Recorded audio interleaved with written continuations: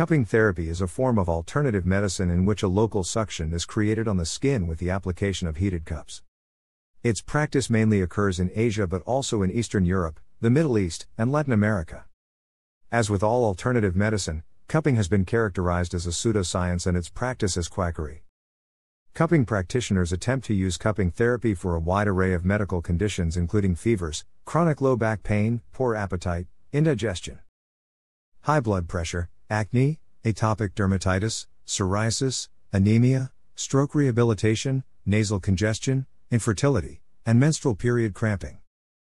Despite the numerous ailments for which practitioners claim cupping therapy is useful, there is insufficient evidence it has any health benefits, and there are some risks of harm, especially from wet cupping and fire cupping. Bruising and skin discoloration are among the adverse effects of cupping and are sometimes mistaken for child abuse. In rare instances, the presence of these marks on children has led to legal action against parents who had their children receive cupping therapy. The American Cancer Society notes that available scientific evidence does not support claims that cupping has any health benefits and also that the treatment carries a small risk of burns. A review of literature in 2011 determined that the effectiveness of cupping is currently not well documented for most conditions, and that systematic reviews showing efficacy for the treatment of pain were based mostly on poor quality primary studies. This was further supported by a review in 2014 which demonstrated that previous evidence supporting cupping has resulted from unreasonable design and poor research quality. There is a lack of evidence to support the use of cupping therapy for acne.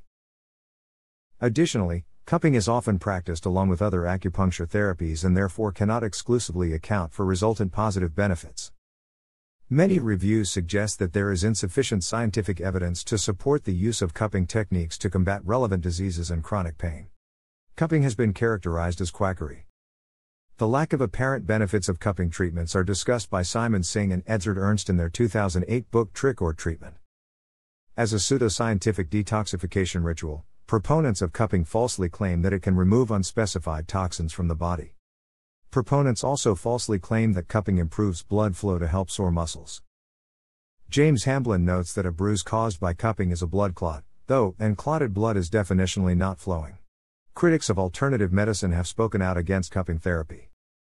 Harriet Hall and Mark Crislip have characterized cupping as pseudoscience nonsense, a celebrity fad, and gibberish, and observed that there is no evidence that cupping works any better than a placebo.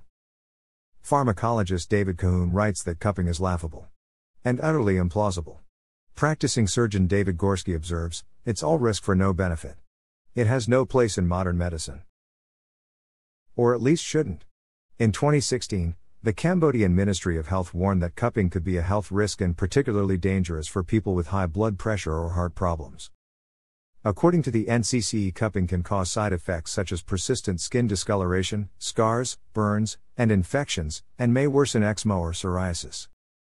Cupping may cause breaks in the capillaries and the papillary dermis layer of the skin, resulting in the appearance of petechiae and purpura.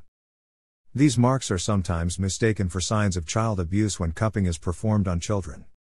Cupping therapy adverse events can be divided into local and systemic adverse events.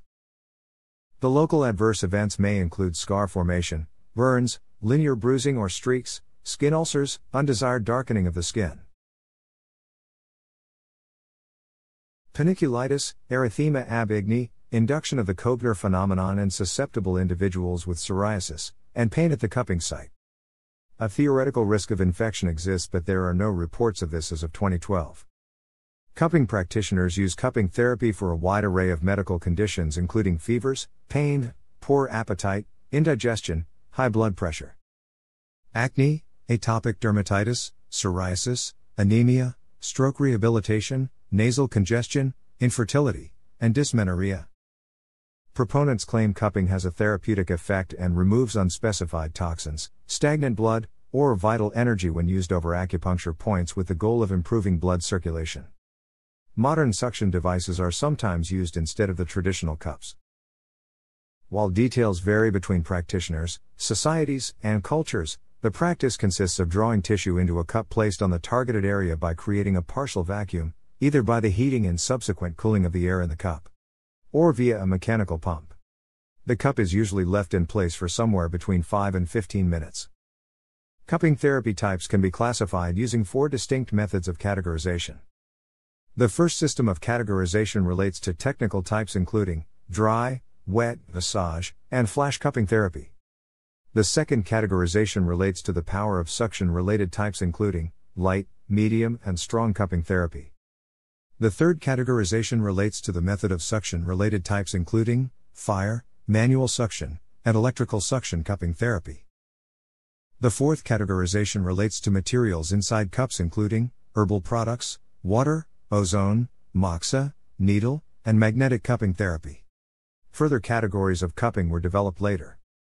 The fifth relates to area treated, including facial, abdominal, female, male, and orthopedic cupping therapy.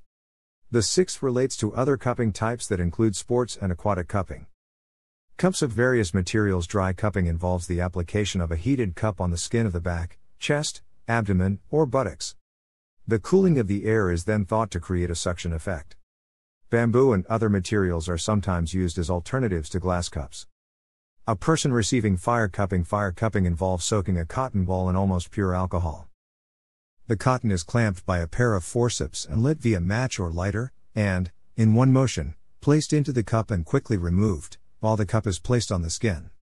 The fire uses up all the oxygen in the cup, which creates a negative pressure inside the cup.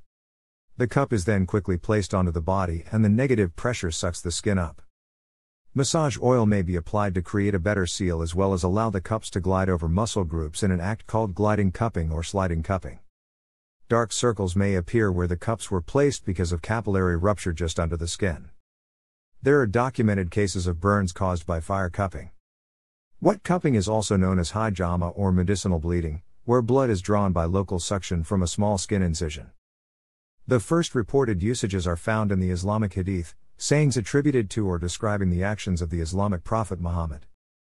Hadith from Muhammad al Bukhari, Muslim ibn al Hajjaj Nishapuri, and Ahmad ibn Hanbal support its recommendation and use by Muhammad. As a result, wet cupping has remained a popular remedy practiced in many parts of the Muslim world. In Finland, wet cupping has been done at least since the 15th century, and it is done traditionally in saunas. The cupping cups were made of cattle horns with a valve mechanism in it to create a partial vacuum by sucking the air out. Cupping is still practiced in Finland as part of relaxing and or health regimens. Woman receiving fire cupping at a roadside business in Haikou, Hainan, China in Chinese, cupping is known as pulling up jars. According to traditional Chinese medicine, cupping is done to dispel stagnation, thereby improving qi flow, in order to treat respiratory diseases such as the common cold, pneumonia and bronchitis. Cupping also is used on back, neck, shoulder, and other musculoskeletal conditions. Its advocates claim it has other applications as well. Cupping is not advised, in TCM, over skin ulcers or to the abdominal or sacral regions of pregnant women. Cupping has gained publicity in modern times due to its use by American sports celebrities including National Football League player DeMarcus Ware and Olympians Alexander Naddour, Natalie Coughlin, and Michael Phelps. Medical doctor Brad McKay wrote that Team USA was doing a great disservice to their fans who might follow their lead, calling cupping an ancient traditional therapy. Steven Novella noted it is unfortunate that elite athletics, including the Olympics, is such a hotbed for pseudoscience. There is a description of cupping in George Orwell's essay How the Poor Die, where he was surprised to find it practiced in a Paris hospital. In the 1964 Hollywood film, Zorba the Greek cupping is depicted with the character Zorba, played by Anthony Quinn, performing it on the character played by Lila Kedrova. Perceived benefits of cupping have often been perpetuated by celebrities and athletes who use these therapeutic interventions in their daily lives. Professional swimmer Michael Phelps received publicity during the 2016 Olympics for the purple bruises evident on his back resulting from cupping. He has been known to do it before every meet he goes to in order to speed up recovery. Celebrity endorsements such as these may bias individuals to feel benefits from the practice. An illustration from the medical textbook Exercitationes Practici, published in 1694, shows a man undergoing cupping on his buttocks. The origin of cupping is unclear. Iranian traditional medicine uses wet cupping practices, with the belief that cupping with scarification may eliminate scar tissue, and cupping without scarification would cleanse the body through the organs. In ancient Greece, Hippocrates used cupping for internal disease and structural problems. The method was highly recommended by Muhammad and hence well practiced by Muslim scientists who elaborated and developed the method further. Consecutively, this method in its multiple forms spread into medicine throughout Asian and European civilizations.